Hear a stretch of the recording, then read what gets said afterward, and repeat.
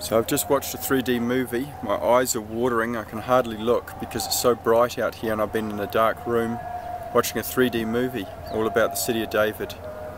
And uh, now I'm about to do the, uh, uh, the, the tunnel walk, if you like, around the city of David and up to the Temple Mount. And uh, here we are. Praise the Lord. I'm going to blow the shofar too for God to regather all of Israel. I'll just pause this.